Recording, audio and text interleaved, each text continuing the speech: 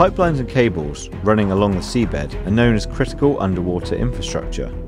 Part of this is the 378 communication cables, with a total length of 1.2 million kilometres. That's 30 times the circumference of the Earth. So why should you care?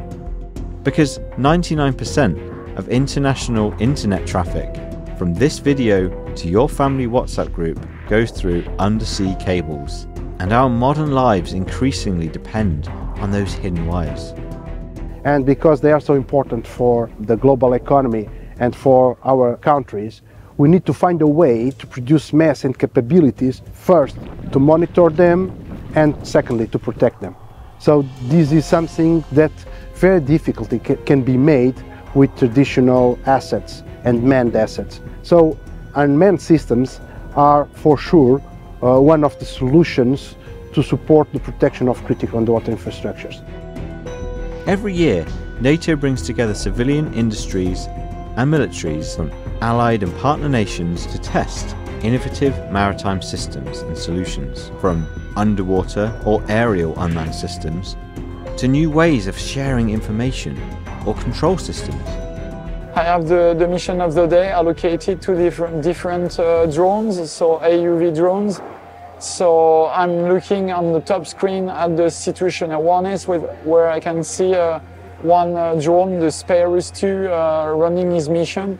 The idea is to, to monitor the, the fleet uh, of REPMUS with the MTube software. In times of collective allied operations, sharing information could be critical.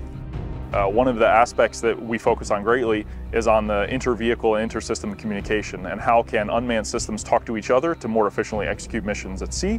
Also, how can they integrate into command and control systems more efficiently? And how can partners and allies, how can they share the capabilities in a sort of more dynamic and broadly applicable toolbox and how basically you can solve the problem of moving fast and quickly using the best the technology has to offer.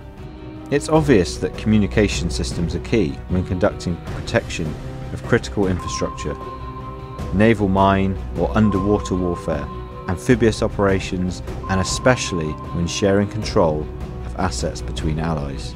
But how could it be done? On the drones, you can find something that's not very uh, common, which is the, the, fact that they have a bunch of communication links. And this is Bluetooth, Wi-Fi, LoRa, uh, Zigbee, and then you have also 4G and 5G native. And this is very important, for instance, on this exercise that we're doing a lot of experimentation around a 5G bubble that's been deployed here. And what that means is we, we just need to plug one of their uh, SIM cards on the drones and suddenly you have connectivity and you have extended range up to 50 kilometers out onto, onto the sea. And that is very unique to, to our assets. By bringing together industries and militaries to create unique capabilities, NATO is able to stay at the highest level of innovation and reach its goals. Today I see NATO as the big Western coalition. It's not only the small coalition to, pro to protect Europe and the United States. It's more than that. It's a coalition to protect the Western way of life and the main interests.